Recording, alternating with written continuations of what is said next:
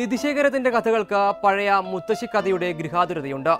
ശ്രീ പത്മനാഭസ്വാമി ക്ഷേത്രത്തിലെ നിധിശേഖരത്തിനും ഗൃഹാതുരമായ ഒരു ചരിത്രമുണ്ട്.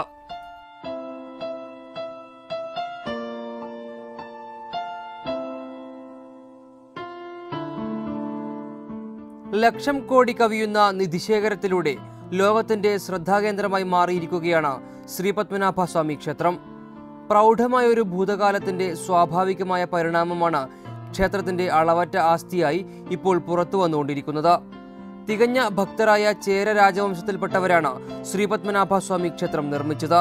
ക്ഷേത്രത്തിന് ചേര രാജാക്കന്മാർ അളവറ്റ സ്വത്ത് കാണിക്കയായി നൽകി. ചേര രാജവംശത്തിന്റെ പിൻഗാമികളായ വേണാട് രാജവംശവും ശ്രീപത്മനാഭന് കാണിക്ക അർപ്പിക്കുന്നതിൽ പിശുക്ക് കാട്ടിയില്ല.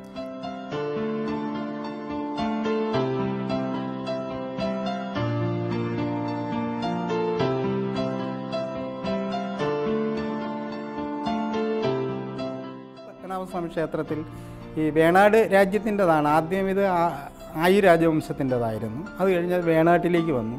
വേണാട്ടിലേക്ക് വന്നപ്പം വേണാട്ടിൽ സിവിൽ വാറുകളും അടിയും ബഹളും ഒക്കെ ഉണ്ടായിക്കൊണ്ടേയിരിക്കുന്ന ഒരു കാലഘട്ടമാണ്. എപ്പോഴും അൺട്രസ്റ്റ് ആയിരുന്നു. അപ്പം ഈ പ്രഭുക്കന്മാരും രാജാക്കന്മാരും അല്ലെങ്കിൽ ഈ പൂജാരിമാരും തമ്മിലുള്ള തർക്കവും ബഹളവും കൊണ്ട് പല പ്രാവശ്യവും പത്മനാഭസ്വാമി ക്ഷേത്രം അടച്ചിടേണ്ടി വന്നിട്ടുണ്ട്. അപ്പോഴൊക്കെ ഇതിനൊരു മധ്യസ്ഥമായിട്ട് വരുന്നത് എന്താണെന്ന് പറഞ്ഞു കഴിഞ്ഞാൽ ഇതിന് ഇത്ര ആന ഇത്ര സ്വത്ത് പിന്നെ ഇത്ര സ്വർണം ഇത്ര വെള്ളി കൊടുക്കാമെന്നുള്ള ഒരു പിഴ എന്ന് പറയും അതിനകത്ത്.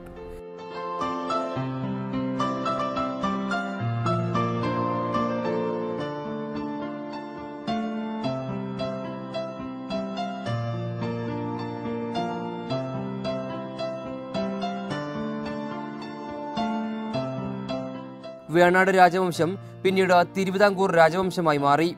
ക്ഷേത്ര അറകളിലെ നിധിശേഖരത്തിന്റെ പ്രധാന പങ്കും രാജാക്കന്മാരുടെ കാണിക്കുകയാണെന്ന ചരിത്ര ഭാഷ്യം ആ രേഖകളിലും ട്രാവൻകൂർ സ്റ്റേറ്റ് മാനുവൽ പ്രസിദ്ധപ്പെടുത്തിയ രേഖകളിലും പത്മനാഭസ്വാമി ക്ഷേത്രത്തിന് കാണിക്കയായിട്ട് പണം വന്നതിനെക്കുറിച്ച് ധാരാളം പരാമർശങ്ങളുണ്ട്.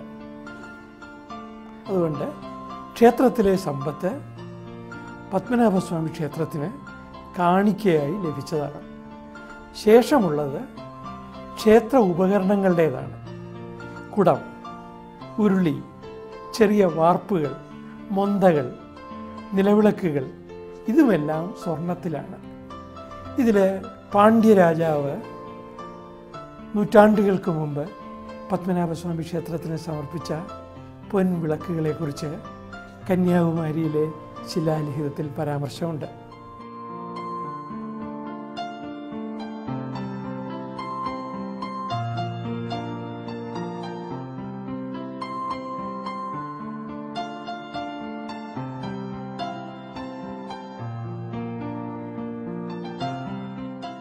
സ്വാതി തിരുനാളിന്റെ കാലത്താണ് ശ്രീപത്മനാഭ സ്വാമി ക്ഷേത്രത്തിന്റെ സ്വത്ത് വർദ്ധിച്ചതെന്ന് കരുതപ്പെടുന്നു.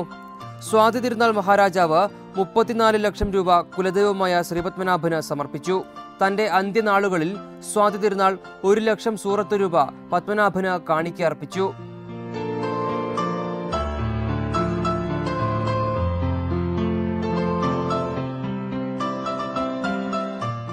മാത്രം തേർട്ടി ഫോർ ലാക്സ് റുപ്പീസിലാണ് ഓഫർ ചെയ്തിരിക്കുന്നത്. അത് ഒറ്റ സമയത്ത് വലിയ കാണിക്കാന്ന് പറയും. അത് ഒരു ലക്ഷം സൂറത്ത് പണമാണ് അദ്ദേഹം ഒരു സമയം ശ്രീപഠാനം ഓഫർ ചെയ്തത്. അന്ന് ഒറ്റക്കൽ മണ്ഡപത്തെ വലിയ തുണി സഞ്ചിയിലാക്കി അതവിടെ കൊണ്ട് നിരത്തി വെക്കുമ്പോൾ മഹാരാജാവ് തന്നെ ഓരോന്നായിട്ട് അഴിച്ച് വലിയ വാർപ്പിൽ അദ്ദേഹം തന്നെ ഇടുകയായിരുന്നു. ഇന്ന് ഒന്നര മണിക്കൂർ എടുത്തു അത് ആ ചടങ്ങ് പൂർത്തീകരിക്കാൻ. അപ്പോൾ ഇതിനൊക്കെ റെക്കോർഡ്സ് ഉണ്ട് നമുക്ക്. ഒരിക്കലും അത് അൺ അക്കൗണ്ടഡ് അല്ല.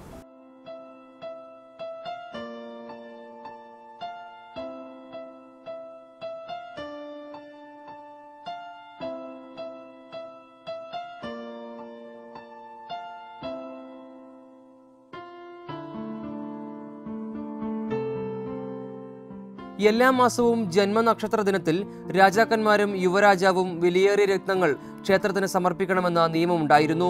പിറന്നാൾ ദിനം പന്ത്രണ്ട് ശരപ്പൊളിമാലകൾ രാജാവ് പത്മനാഭന് സമർപ്പിക്കണം. ക്ഷേത്രത്തിലെ മറ്റു ഒൻപത് വിഗ്രഹങ്ങൾക്ക് മുൻപിലും സമാനമായ കാണിക്ക രാജാക്കന്മാർ അർപ്പിച്ചു.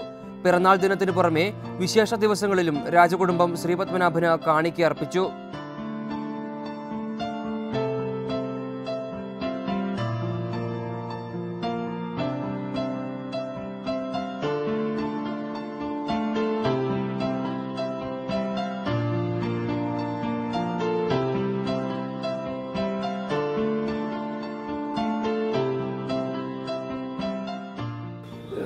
സ്വർണ നാണയങ്ങൾ അതുപോലെ രത്നങ്ങൾ പല നിറത്തിൽ പല തരത്തിലുള്ള രത്നങ്ങൾ മരതകം ഭൂമിയതകം തുടങ്ങിയ രത്നങ്ങൾ അതുപോലെ തന്നെ സ്വർണത്തിലുള്ളതായ അവൽ അവലുകൾ അവൽമാല എന്ന് പറയും ശരപ്പളിമാല അവൽമാല എന്നൊക്കെ അന്നത്തെ കാലത്ത് വളരെ പ്രസിദ്ധമാണ്. അവലിന്റെ രൂപത്തിൽ സ്വർണ ഇത് ഉണ്ടാക്കി മാല ഉണ്ടാക്കുക. അതുപോലെ ചരപ്പളിമാല എന്ന് പറഞ്ഞ മുത്തുകൾ കൊണ്ട് ഇടയ്ക്കിടയ്ക്ക് മുത്തുകളും ഇടയ്ക്കിടയ്ക്ക് ഈ അവലും ഒക്കെ ചേർത്ത് ഇഡ്ഡലിമാല ഇങ്ങനെ ഒരുപാട് തരത്തിലുള്ള സമൂഹ മാലകളുണ്ട്. ഈ മാലകളൊക്കെയാണ് ഇവിടെ ഇപ്പോൾ കണ്ടെത്തിയിട്ടുള്ളത് അത് അതുപോലെ തന്നെ ഭഗവാന്റെ കിരീടം. സ്വർണ കിരീടമാണ് ഭഗവാൻ അണിയുന്ന സ്വർണ കിരീടം അതുതന്നെ തിരുമുഖം അദ്ദേഹത്തിന്റെ മുഖത്തിൽ അണിയാനുള്ള തിരുമുഖം സ്വർണ കിരീടം ഒരു ഭഗവാന്റെ മുറത്ത് പുറത്ത് മൂടാനുള്ളതായ സ്വർണപ്പട്ട് ഇതൊക്കെ അതിനകത്ത് കണ്ടുപിടിച്ചത് അതിലാണ് ഇതുപോലെയാണ് അനേകം വസ്തുക്കൾ. കാണിക്കകൾ പതിവായതോടെ ശരപ്പള്ളിമാല സ്വർണവിളക്ക് ശംഖ് മരതകം ഇന്ദ്രനീലം നാഗപത്തി തുടങ്ങിയ വിലയേറിയ വസ്തുക്കൾ കൊണ്ട് ക്ഷേത്ര അറകൾ നിറഞ്ഞു തുടങ്ങി. മാറി മാറി വന്ന തിരുവിതാംകൂർ രാജാക്കന്മാർക്ക് ശ്രീപത്മനാഭനിലുള്ള വിശ്വാസം കൂടി വന്നു. ക്ഷേത്രത്തോടുള്ള വൈകാരിക ബന്ധം വർദ്ധിക്കുന്തോറും ക്ഷേത്രത്തിന്റെ സമ്പത്തും വർദ്ധിച്ചു.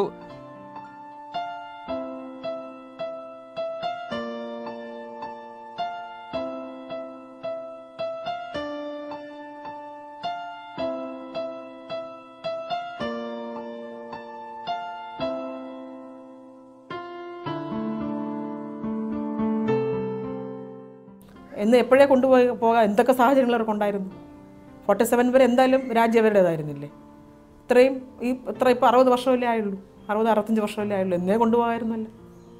കൊണ്ടുപോയില്ലല്ലോ. ചിത്തിരി തിരുനാളിന് ഹിരണ്യഗർഭം ചെയ്യാനായിട്ട് ഇരുപത് ലക്ഷം രൂപയാണ് ചിലവായത്. അന്ന് വേണ്ടി വന്നു. അപ്പം അദ്ദേഹം പറഞ്ഞു വളരെ എക്സ്പെൻസീവാണ് ഞാനിത് ചെയ്യുന്നില്ല. ഈ പൈസ ഉണ്ടെങ്കിൽ റോഡ് നന്നാക്കാം. ആശുപത്രി ഉണ്ടാക്കാം. വിദ്യാഭ്യാസ സ്ഥാപനങ്ങൾ സ്ഥാപിക്കാം. പല പുരോഗമന പ്രവർത്തനങ്ങളും വ്യവസായങ്ങൾ കൊണ്ടുവരാം കൃഷിക്ക് ഉപയോഗിക്കാം. ഇരുപത് ഇരുപത് ലക്ഷം രൂപ ഉണ്ടെങ്കിൽ എനിക്ക് ചെയ്യാൻ പറ്റും. അതുകൊണ്ട് എനിക്ക് ഹിരണ്യഗർഭം ഞാൻ ചെയ്യുന്നില്ല. അത്ര അന്ന് മഹാദേവ മഹാരാജാവ് പറഞ്ഞു വേണമെങ്കിൽ ഇതിൽ നിന്നെടുത്ത് ചെലവഴിക്കാമായിരുന്നു. ആണല്ലോ? ചെയ്തില്ല. അപ്പോൾ അത് അത് എന്തുകൊണ്ട്? ശ്രീ പത്മനാഭൻ നമ്മൾ കൊടുത്തതാണ്. അത് നമ്മൾ തിരിച്ചെടുക്കാൻ പാടില്ല. അത് ആ ഒരു ഭയങ്കര ഒരു റൂളാണത് അതിൽ ചെയ്യില്ല.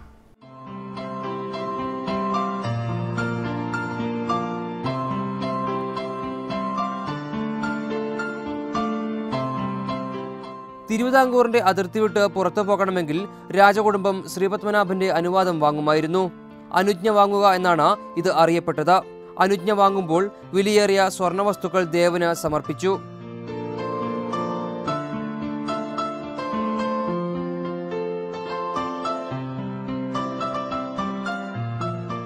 ഈ രാജാക്കന്മാർ തലസ്ഥാന നഗരി വിറ്റ് വെളിയിൽ പോകണമെങ്കിൽ ഇപ്പോൾ കൊല്ലത്തോ കൊല്ല- അല്ലെങ്കിൽ മദ്രാസ് ബാംഗ്ലൂരൊക്കെ ഒരുപാടുണ്ട് സഞ്ചരിക്കാറുണ്ട്. അപ്പോൾ ഭഗവാന്റെ സമ്മതം നേടുക അതാണ് അനുജ്ഞ. അപ്പോൾ അതിനു വേണ്ടി പ്രായശ്ചിത്തം വയ്ക്കണം.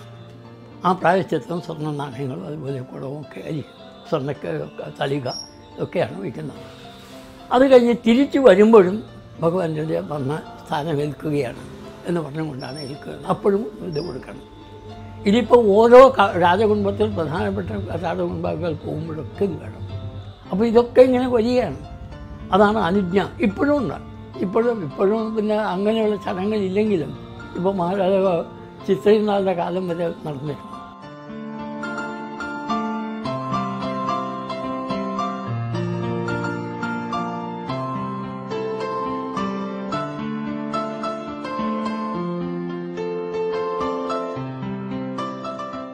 തിരുവിതാംകൂർ രാജാവിന്റെ അതിഥികളായി എത്തുന്ന അന്യദേശ രാജാക്കന്മാരും ശ്രീപത്മനാഭന് വിലയേറിയ കാണിക്കകൾ അർപ്പിച്ചു. സ്വാതി തിരുനാളിന്റെ കാലത്ത് കേണൽ മൺറോ സ്വർണം പൂശിയ വെള്ളിക്കുട പത്മനാഭന് സമർപ്പിച്ചു. പരാന്തക ചോളൻ തിരുമല നായ്ക്കർ തുടങ്ങിയവരും തിരുവിതാംകൂർ സന്ദർശന വേളയിൽ ശ്രീപത്മനാഭന് അളവറ്റ കാണിക്ക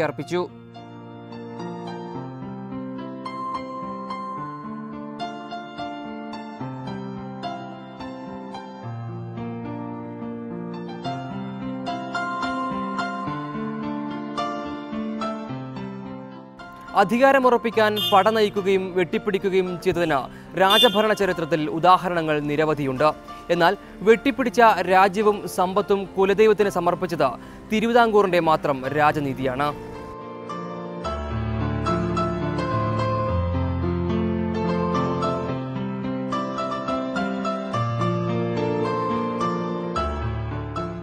ആയിരത്തി എഴുന്നൂറ്റി അമ്പത് ജനുവരിയിലാണ് മാർത്താണ്ഡവർമ്മ തൃപ്പടിദാനം നടത്തിയത്. തൃപ്പടിദാനത്തിനു ശേഷം തിരുവിതാംകൂർ രാജ്യം പണ്ടാരം വകയായും ഉദ്യോഗസ്ഥർ പണ്ടാരം കാര്യസേവകരുമായി മാറി. രാജാവ് പത്മനാഭദാസനായി. തൃപ്പണിദാനം എന്ന് പറയുന്നത് ഒരു ആത്മീയമായ നീക്കവും അതേസമയം ഒരു രാഷ്ട്രീയമായ നടപടിയുമായിരുന്നു രാഷ്ട്രീയമായി നോക്കുമ്പോൾ തിരുവിതാംകൂർ എന്ന പ്രദേശത്തിന്റെ ഭരണ മേധാവി ശ്രീ പത്മനാഭസ്വാമി ആവുകയാണ്. സ്വാഭാവികമായി അതിന് പ്രേരിപ്പിച്ച പ്രേരി മാർത്താണ്ഡവർമ്മയെ അതിന് പ്രേരിപ്പിച്ചത് ഒരു അദ്ദേഹത്തിന് പത്മനാഭസ്വാമിയിലുള്ള അചഞ്ചലമായ ഭക്തിയും അതുപോലെ തന്നെ ജനങ്ങളിൽ അല്ലെങ്കിൽ റിബലുകളായിട്ടുള്ള ആളുകളുടെ പ്രതിഷേധത്തെ നീക്കങ്ങളെ ഫലപ്രദമായി നേരിടുകയുമായിരുന്നു.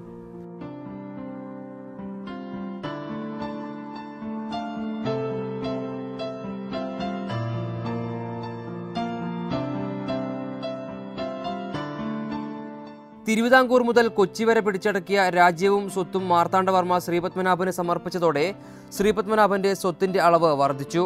രാജാവ് തെറ്റു ചെയ്താൽ ശ്രീപത്മനാഭന് പിഴ അടയ്ക്കണമെന്ന നിയമം തിരുവിതാംകൂറിൽ കൃത്യമായി പാലിക്കപ്പെട്ടു. രാജകുടുംബത്തിന്റെ ഈ സ്വയം വിമർശന പരിശോധന തിരുവിതാംകൂറിന്റെ അച്ചടക്കവും ക്ഷേത്രത്തിന്റെ സമ്പത്തും വർദ്ധിക്കാൻ കാരണമായി. നിത്യേനയുള്ള ക്ഷേത്രദർശനം മുടങ്ങിയാൽ രാജാവ് ക്ഷേത്രത്തിന് പിഴ നൽകണം. ആദ്യകാലത്ത് വലിയൊരളവിൽ സ്വർണം പിഴയായി ക്ഷേത്രത്തിന് നൽകിയിരുന്നു.